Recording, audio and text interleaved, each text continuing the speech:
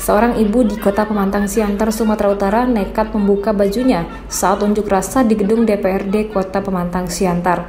Aksi tersebut dilakukannya sebagai protes penerapan PPKM level 4. Ibu beserta puluhan rekannya sesama pedagang melakukan aksi unjuk rasa di Balai Kota dan gedung DPRD Kota Pemantang Siantar. Para pedagang tersebut melakukan protes karena lokasi mereka berdagang di seputaran Taman Merdeka disekat oleh petugas.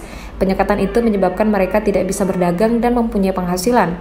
Para pengunjuk rasa meminta pemerintah segera mencabut pemberlakuan PPKM level 4 tersebut.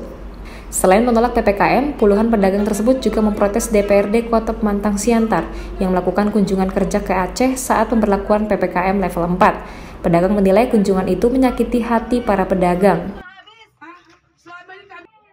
Dari Pemantang Siantar, Sumatera Utara, Jo Ambarita melaporkan.